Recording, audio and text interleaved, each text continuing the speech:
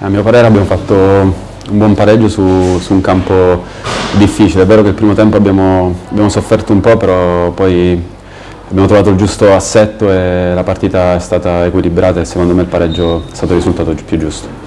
Quello è sicuro, adesso avremo la partita più importante della stagione sia perché è un derby e sappiamo quanto sia importante per, per i nostri tifosi e vincerlo e siamo consapevoli che se faremo risultato avremo buone probabilità di, di ambire ai playoff.